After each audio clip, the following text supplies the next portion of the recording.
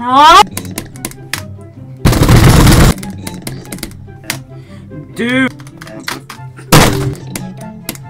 No!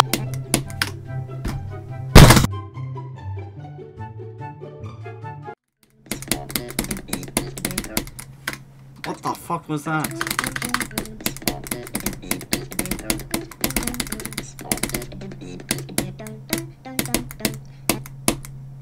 Yes!